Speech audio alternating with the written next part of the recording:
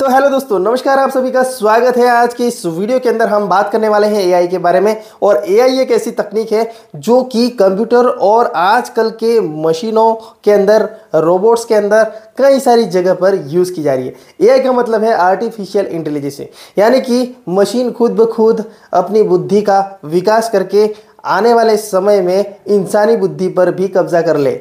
दोस्तों, हो सकता है आने वाले समय में मशीन आपसे ज़्यादा आपसे ज़्यादा डेटा का एनालिसिस कर सकता है, अच्छे निर्णय और सटीक निर्णय पर जा सकता है।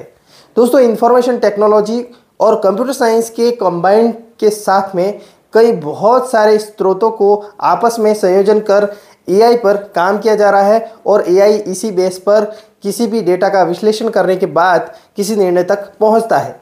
यहाँ पर जो स्वतंत्र रूप से सीखने की क्षमता होती है और अपनी बुद्धि के हिसाब से किसी भी निर्णय तक पहुँचने की क्षमता होती है।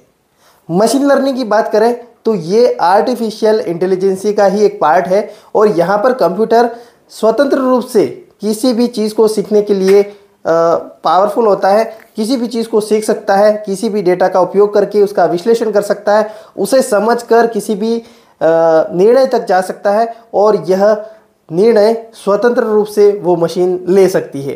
तो दोस्तों, आप सोच सकते हैं कि ये कितना बड़ा आने वाले समय में टेक्नोलॉजी में बूम होने वाला है। इसके साथ ही मशीन लर्निंग रोज नए नए डेटा को एनालिसिस करके आने वाले समय में अपने निर्णयों को बदलकर अपनी बुद्धि में काफ़ी ज़्यादा इजाफा भी कर सकता है और उस इजाफे के अनुसार किसी भी निर्णय तक पहुँचने की क्षमता रखता है। तो ये थी जानकारी, आपको कैसी लगी? अगर आपको वीडियो अच्छा लगा हो तो लाइक कीजिए, चैनल पर नए हैं तो सब्सक्राइब करके हमें सपोर्ट कर सकते हैं। मिलते हैं फिर नए वीडियो के साथ।